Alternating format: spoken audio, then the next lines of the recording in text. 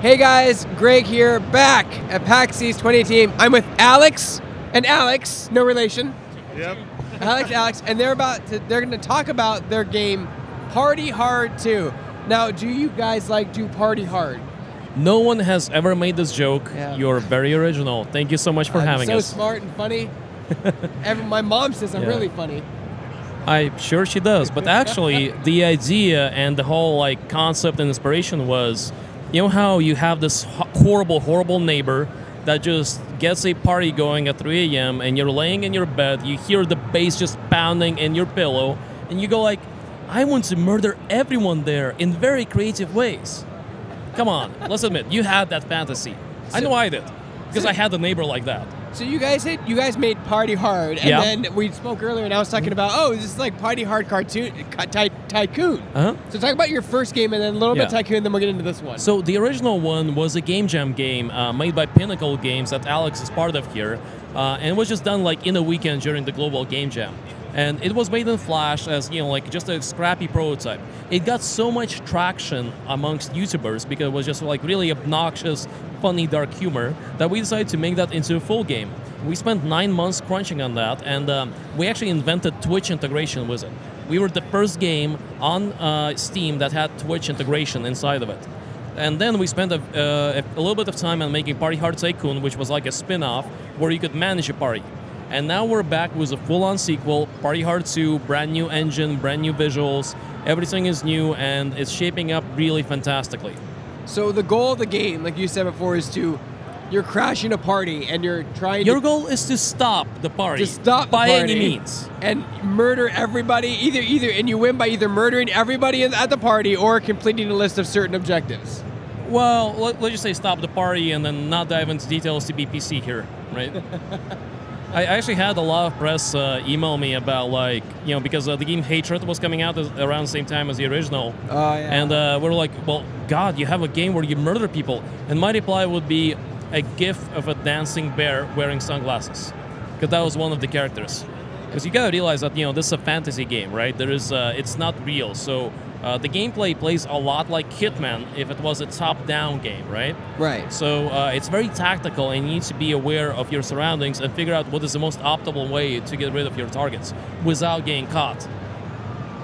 So how hard is it to like clear a level? Because I'm looking at this thing. There are a lot of people everywhere, and the cops just showed yeah, up. Yeah, the cops just showed up. Uh, they spot him, and he's about to throw a grenade, and that didn't work. And well, hey, Alex, come on, you can do Okay. Better. Are you your dev game or what's going on? You guys play your game? you guys probably play your game too much. No, we we actually don't. This is the first time we're playing it.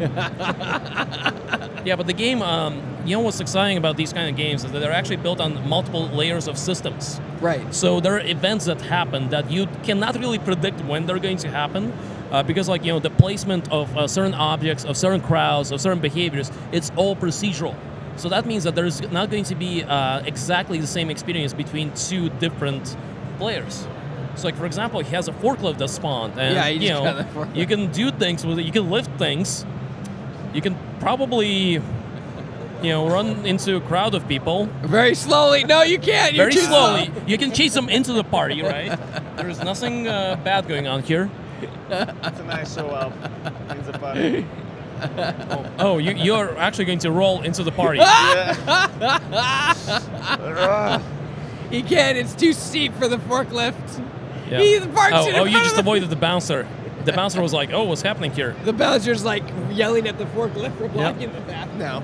Yeah, and then Oh, uh, he drove that Ferrari into a forklift, and now it's a barbecue. It's also like unlike you mentioned hatred. Unlike that game, this game is very stylistic. Yeah, and it's like it's not realistic, which is probably it's you know, very it's stylized. Like Yeah. I mean, uh, one of the Easter eggs here is that um, uh, an alien spaceship can uh, come into the party and like hover over it, and then uh, you go, "Well, aliens are going to kill it." No, you you can just party on the spaceship. It's all fine. We're all friends here. Talk about what you guys learned from Party uh, uh, Hard Cut Tycoon and Party Hard One that you've applied and improved on in the sequel. Well, uh, you know, Party Hard's orig- original design was a happy accident conceived in a very short amount of time, right? And uh, as we're working on this, we actually realized a lot of things that happened by accident in the original design, And uh, the learning there was that you know we thought it was just like a scrappy prototype, but a lot of the things in it were really genius. So uh, for us, uh, the biggest takeaway was that it's very important to constantly surprise people, right? And then when you surprise people uh, and they realize that it's a unique thing that probably happened mostly to them and not to, to many other people, you're going to uh, make them share their experience. And it's all about building a game that people want to share. Now, see, I want to talk about because you said the first game was a game jam game. Yeah. Now, I know what that is, but some people watching may not know. So, explain what game jam is because it's really impressive. Some of the best games we've seen at GDC were and here are Yeah, game jam yeah. games. Uh, this is actually very true for us as a publisher. Like you know, games that have been developed in a very short time span, um, they they get very creative because you gets focused on like one thing, and that one thing becomes really good. Like for example, Party Hard was a game jam game for us. Clustertruck is another game that was a game jam game. No Time to Explain, our very first game, was a game jam game. Um, because um, a lot of the time uh, game developers are and designers are a little bit cautious about sharing their vision their prototypes right and then uh, they get locked into like pre-production and then full production and then a year later you're afraid to show if your game is fun or not you know to find out if your game is fun or not but the thing with game jam games is that if you hit that that the magic formula from the get-go you are actually almost guaranteed to get traction when the game is done as a full game Absolutely. and plus, it's you get so much feedback and exposure that it's it's amazing. So, talk about the role the chickens play because there's so many of them, and I, I he he just got yelled at from for killing chickens. Yeah, And- Alex, what do the chickens do? Um, I honestly don't know. this is very new in the in the build. you put chickens out, put chickens in. Are you making McNuggets? uh, I can talk about chickens. That's a private life of chickens. Yeah, we can talk about it. Well, They you just, just- let like 50 of them out of that little box for some reason. You can't That's- have enough chickens in game. The more, the better. Are those people sleeping? Right there? Yeah, they they're are. sleeping. Uh, they took some medicine, some sleeping pills, and they're sleeping.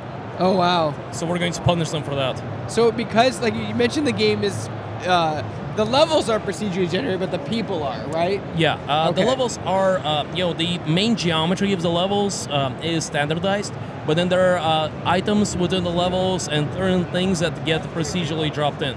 Like So it- talk about some of the weapons and items you find in the game and can use. You, we've seen knives and grenades so far. Yes, so the knife is your main weapon, right? And then there are things like, you know, you find a gas canister, then you fill it with fuel, or it might already be filled with fuel, and then you just kind of like pour a little bit here, you know, like make a little trace, and then, you know, like light it on fire, and then have a barbecue with chickens. It's it's all about giving the player a variety of way to complete a task, right? And like playing the way they want and what, what playing the way they enjoy most. That's Yeah, so like- cool. That is so fun. So we've seen some very disturbing stuff happen here on the back show floor that we're not sure how to deal with. Like there was a player that stacked a stash of bodies, of murdered bodies, on in one side, lit them on with, with gasoline, and then lit them on fire. And we're just standing here going like, uh, that's uh, sure that makes a good gift. Well, does it get rid of the bodies? Yeah, I mean, Well, there you go. Then he was getting rid of the bodies, getting rid of the evidence. sure, sure. Well, like you know, you know, it doesn't matter because you're murdering in any game. I mean, you're murdering people in Skyrim. You're murdering Yep. people in Mario Brothers. You know, Yeah, just- like what, what Alex is doing here, um, I'm not sure what to think of. I think you have some issues, man. Is he? what do you? Oh my, oh my lord! Oops. Some people are still dancing. I like Well, if they were the you gotta party hard, right? You do gotta party hard. It doesn't matter, you know, the roof is on fire, you gotta party. So you can also, I saw your character dance. You can also like go on the dance floor Yeah. and just dance, right? Yeah, you can actually dance. it's fine. oh my god, it turned into dust. Uh-huh. yeah, but the game is uh, it, it's a mix of stealth, tactical gameplay, where you eliminate targets, and the best part is that you can play aggressively, but that's very risky. It's just that Alex is just very good here with playing aggressively. Typically, uh, players will play uh, very silently and just like you know lure enemies out and deal with them one by one. now you mentioned like Hitman was kind of an inspiration. You were designing this.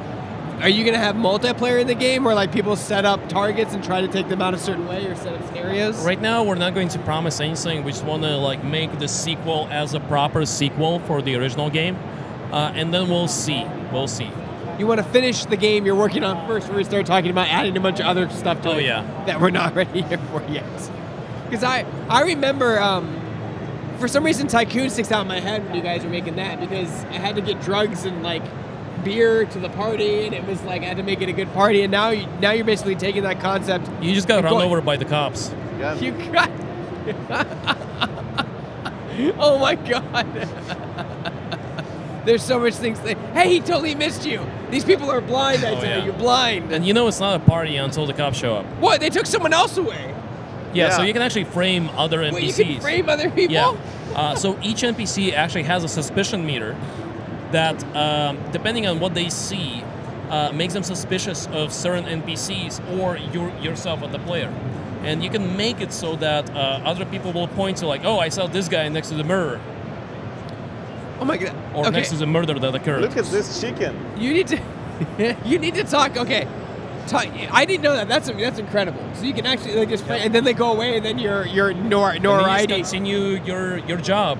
So talk about the icon. The icon is switching colors in the lower left-hand corner. What what is it when it changes to that red and black? What does that do? Oh, uh, when it changes to that, um, you ha- actually have a special ability that allows you to kill a whole bunch of people within a certain radius. So just like that, see? Uh, and that's the ability. So uh, it fills up, and you can use it every now and then. It's useful for when you're being surrounded by aggressive NPCs to get rid of all of them at once, or uh, you know when you just want to have um, some personal space, because I think that's an issue in America, right? People love their personal space. I love my personal As space. European, I find it weird. So talk about like your uh, the character you play as. I see him in the corner as well. Is that what you look like? Is there different versions of that, or is that what he looks like all the time? Um, the original had the uh, original character, who turned out to be uh, Detective John West. Spoilers for everyone who Game's played been out for a while. You can't be, Yeah, can't get angry. Uh, we're actually not talking about who this guy is. That's going to be a surprise for everyone, and the way that we twist the story on the sequel, I think a lot of players of uh, a lot of fans of the original are going to appreciate. I'm Uh, really excited about that. Alex just burned down a car and then danced while he was doing it. Oh yeah. I think I think there's a lot of positive things you can say about this game because you can do whatever you want. And you don't have to you, you don't have to even stop the party. You can join it and just party if you want to. I mean, A it's not going to be very fun, do, right. You know that's just how it works. Do you guys have any uh, drug mechanics in the game or anything like that? Any like uh, Not right now, no. not right now? So talk about the other mechanics because you keep telling me you have these other mechanics every single time I say that's cool. Well, that's a mechanic. I'm like, how many mechanics do you have in this game? Um, it really depends uh, per level, right? Uh, because uh, some of the mechanics are universal, like uh, you know you can do the lighting, you can uh, typically explode a few things in a level. Uh, but then when you um, design uh, universal mechanics, you actually want to build off custom things. So um, I, I'm not going to spoil exactly what we're going to have here because uh, there will be surprises. But uh, if you remember the original, in the original you could have all of a sudden zombies come in and start spreading infection and party. So you can expect silly things like that from the sequel. So talk about that mode he just switched to. Everything went green. What is Oh, that yeah, something you that is, interact uh, with? That's kind of similar to uh, Hitman's. Um, uh, I think it was called uh, Assassin mode, uh, where you get an idea of what items are interactive around you. So what other levels can we? Right right now, this is like a nightclub. What other Yeah. levels can we expect from Party Hard 2? Um, there is a really cool uh, skiing level that looks like nothing else you've seen in the game. like a like a ski like a ski lodge or like a yeah, like a ski lodge. okay yeah. okay. Yeah, uh, there is multiple clubs, multiple parties, and uh, there is a uh, TV station, which uh, is the center of the story. Interesting. So that Yeah. may or may not have to do with our protagonist Maybe or not. antagonist in this case. You never know. We never know. We're aiming for about a dozen levels. Uh, we have a lot of prototypes, and uh, we're at the stage where uh, all of the mechanics are in, uh, and the core story is now wrapping all of those levels together.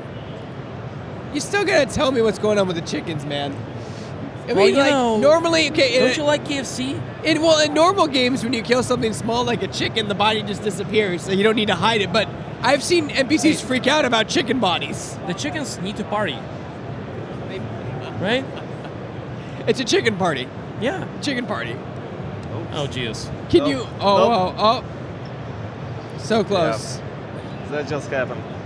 Can you spell your name out in uh, in, in gasoline and light it on fire? Yep. Yes, you could. We'll never know who did this. It says Alex right here in kerosene. Yeah, just spell out your name. Like yeah, right.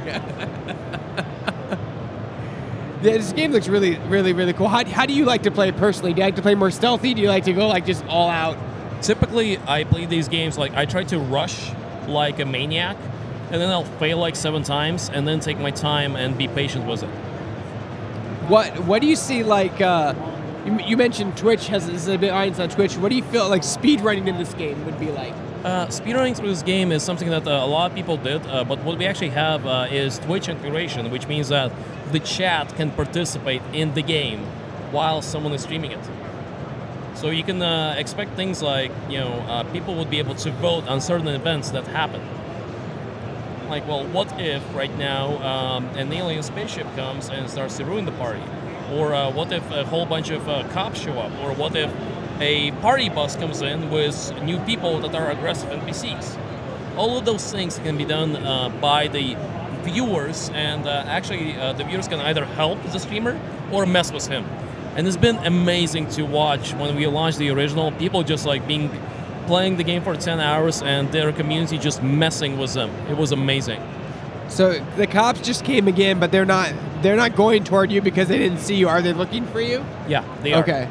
There is a suspicion meter uh, going up, uh, and depending on uh, whether or not you had direct line of sight or whether you were caught doing the murder or if someone saw you do the murder, um, it uh, impacts the behavior of cops.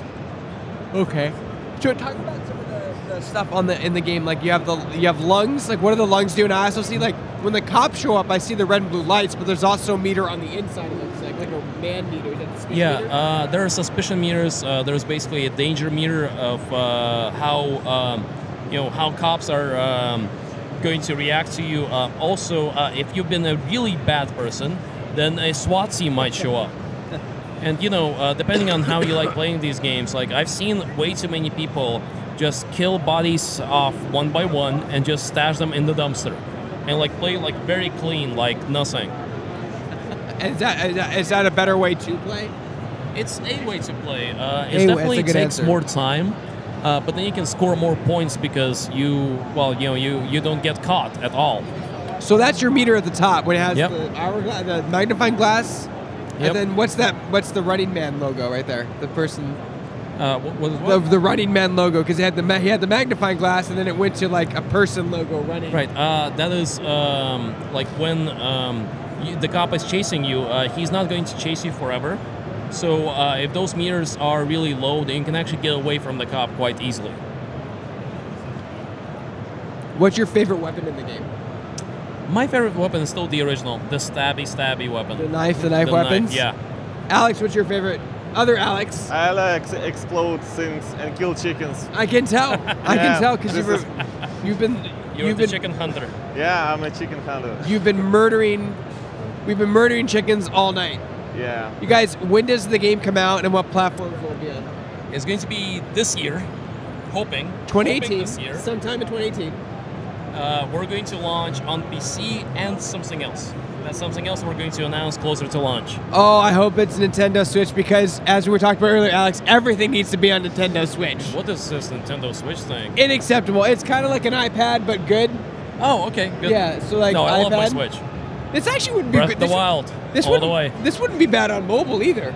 I could see this on an iPad. The original uh, has come out on mobile I know did really well. Did, Ty- did Tycoon come out on mobile? No, no, Make it happen. maybe, Maybe. All right, you guys. Thank you guys so much for sticking with us, Alex and Alex, for Party Hard 2, and, And they chickens. and they do Yeah. in fact Party Hard 2 with chickens and gasoline and grenades. So for more interviews like this, more streaming, stick around twitch.tv slash Shacknews. Do it for Shacknews, PAX East 2018. Killing chickens. It's a thing.